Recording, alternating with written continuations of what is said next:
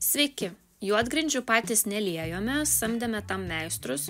E, mes juodgrindas darėme pagrindę dėl to, nes jos padeda apsisaugoti nuo graužikų, yra geras pagrindas polistirolui kloti ir pertvarų pamatėliams, kuriuos darysime, o taip pat nebedulka smėlis, lengva vaikščioti, nes smėlis mums per tris metus jau buvo tikrai atsibodęs. Pirmiausia, prasivedžiojame gofuras elektros kabeliams, pasidarėme nulinę kanalizaciją. Apie šiuos etapus informacijos dar nėra, bet kažkada bus.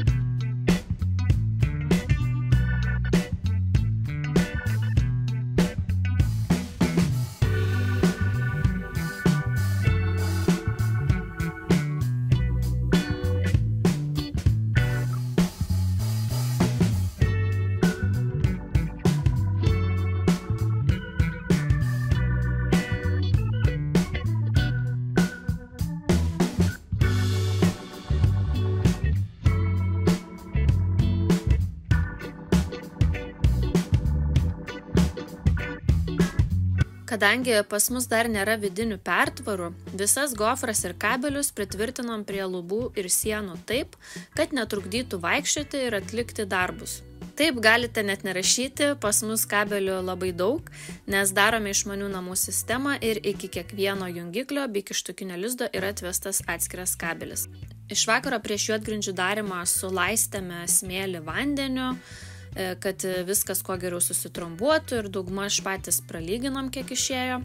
E, taip pat e, ten, kur bus pertvaros, paklojame 15 ant 15 cm armatūros tinklą.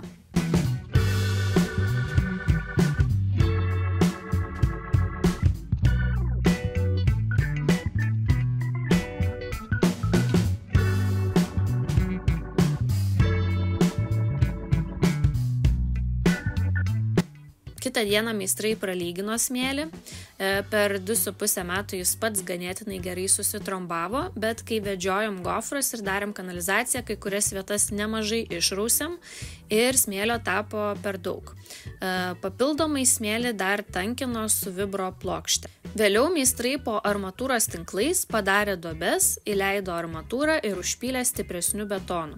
E, ten mes darysime pamatėlius ir mūrysim pertvaras. Vaizdas atvykus vidury proceso toks, ant smėlio užklota plevelė, kuri apsaugo nuo drėgmės kylančios iš žemės ir sulaiko plastifikatorių, kuris yra betone.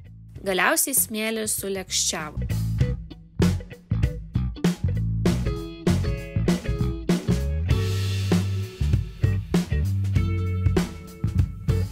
Mūsų atveju gavosi 5-7 cm aukščio juodgrindės.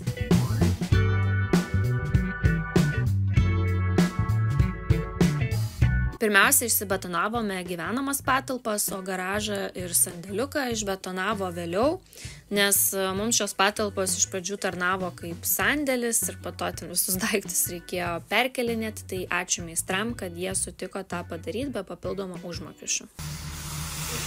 Kiek čia metrų ilgio? Kas? Šitas.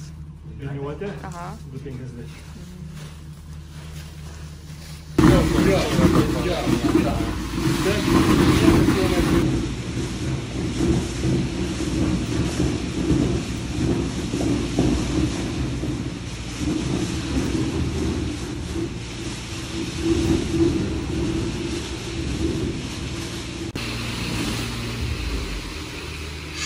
Nekaršta?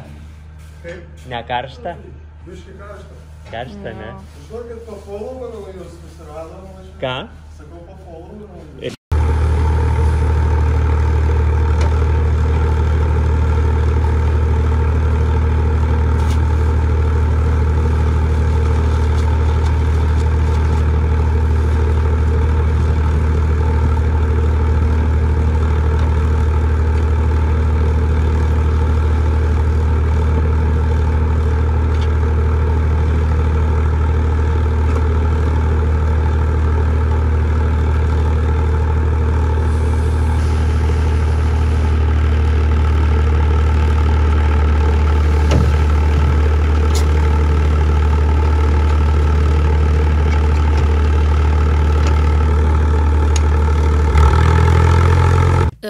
Po darbų reiktų palaikyti drėgmę viduje, kad betonas per greit neišdžiūtų ir nepradėtų skilti.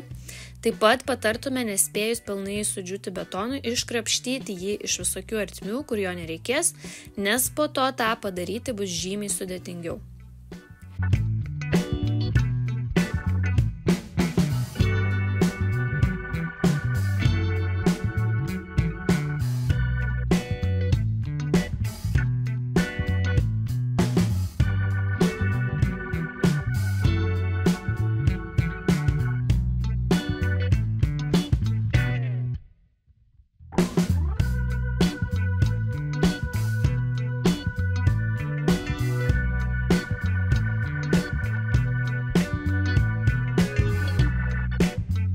Juodgrindėms ypatingas lygumas šiaip nebūtinas, bet meistrai jas padarė taip lygiai, kad net Paulius nustebęs, kur tik dėjo gulščiuką, ten lygu.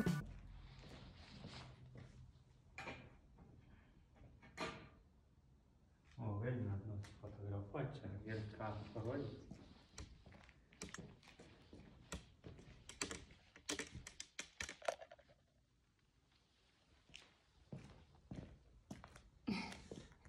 Nu, šitai.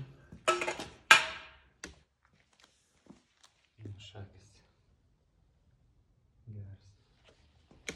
Su tokiu lygumu bus paprasčiau kloti polistirolą, kas yra tikrai geras pliusas.